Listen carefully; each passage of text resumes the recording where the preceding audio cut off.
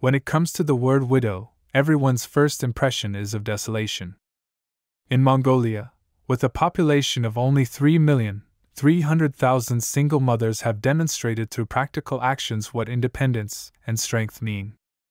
Mongolia has a vast territory and sparse population, with most areas being plateaus and grasslands. The climate is very cold, and heavy snowfall in winter is the norm. In such a harsh natural environment, many Mongolian herders will freeze to death on cold winter nights due to sudden snowstorms, leaving their wives as widows. According to statistics, hundreds of herdsmen die every year due to bad weather. For example, in 1924, a rare blizzard occurred in the Kirin region, causing hundreds of herdsmen's tribes to be buried, resulting in severe herdsmen's deaths and leaving many widows behind. In addition to sudden bad weather, Mongolia's vast territory and sparse population have also led to poor medical conditions, and many herders have died due to untimely treatment of diseases. The sudden death of her husband also made her a widow overnight.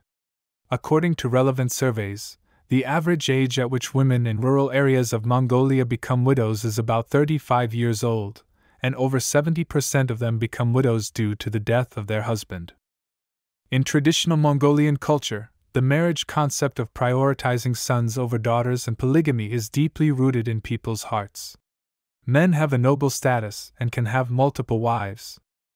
However, women have a low status and often cannot receive the respect and care they deserve.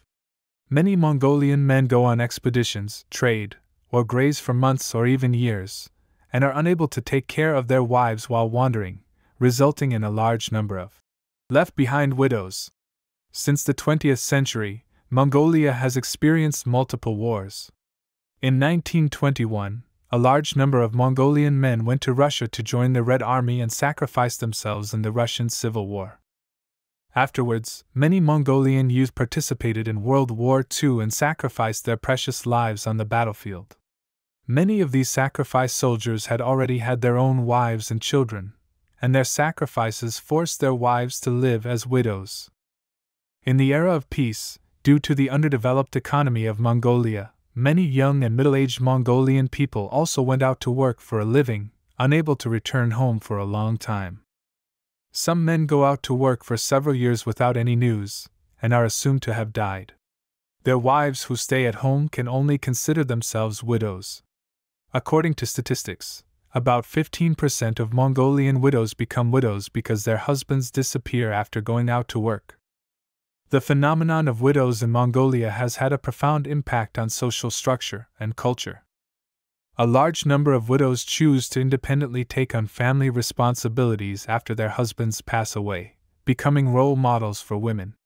They not only have to bear the burden of earning money to support their families, but also take on the responsibility of taking care of the elderly and children. Many widows have won the respect of society for their diligence and bravery. Due to long term male outings, women need to take on more social responsibilities, which has accelerated the improvement of women's status and the change in gender roles. Currently, the social status of women in Mongolia has significantly improved. Some widows with financial difficulties need economic assistance and spiritual comfort from the government and society, which tests the level of social development and progress.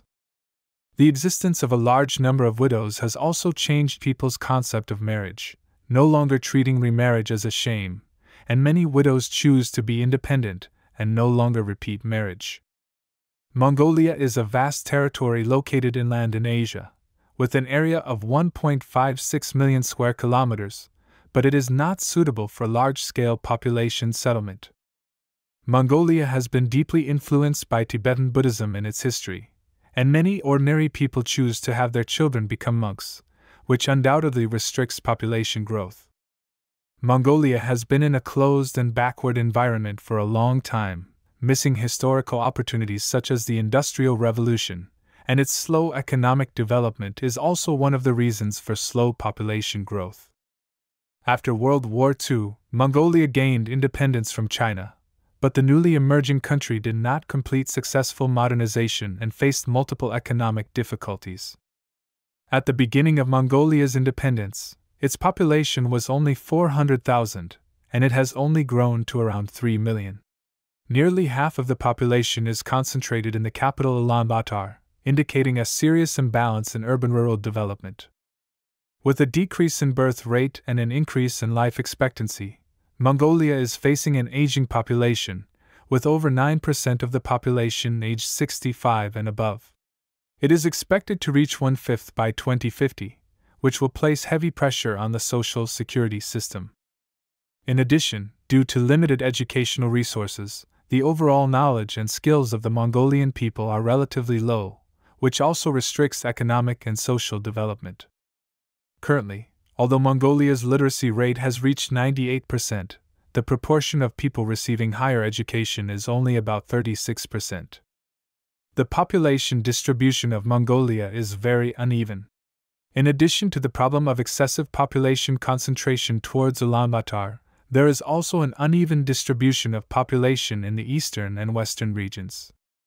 The eastern part is close to Russia, with a relatively sparse population, while the western part is close to China, with a slightly higher population density and significant north south differences. The northern part is cold, while the southern part is slightly warmer, and the population distribution also shows a pattern of more in the south and less in the north. This is closely related to factors such as climate conditions and employment opportunities. In terms of medical conditions, Ulaanbaatar and the provincial capital cities are relatively complete, while medical resources in the county and rural areas are very scarce, and many patients need to rush to the provincial capital for medical treatment. The lack of beds, doctors, and medical equipment is still prominent, which has led to a certain gap in life expectancy between urban and rural residents.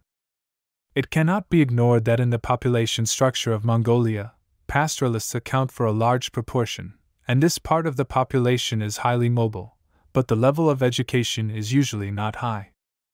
Mongolia has a vast territory and abundant natural resources, but for a long time, the country's economic development has been unstable and faces many difficulties. To achieve Mongolia's prosperity and strength, it is necessary to have a correct understanding of the development direction.